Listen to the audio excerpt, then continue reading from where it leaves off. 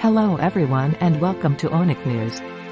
In today's topic we talk about Blackpink Lisa sharing stunning photos on SNS to announce her new single Rockstar.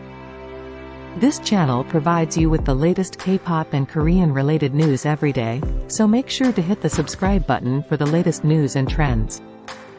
Today's video is sponsored by the new wave DGOD Dinhasty Clothing.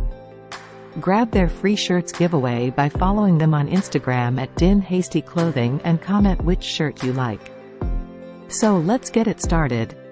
On the 30th, Lisa shared several photos on her social media with the caption, I'm so excited to finally share my new single Rockstar with you all.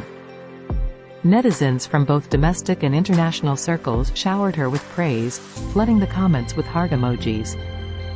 Meanwhile, Lisa announced her comeback with the new song, Rockstar, following the establishment of LLOUD Co.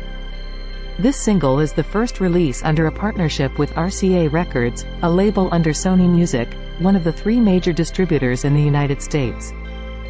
Let's a closer second look.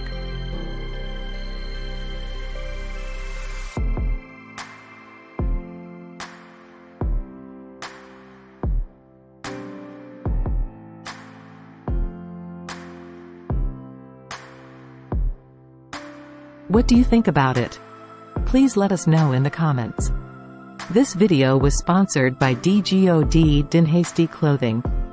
Don't forget to grab your free shirt by following them on Instagram at Dinhasty Clothing and comment which shirt you like.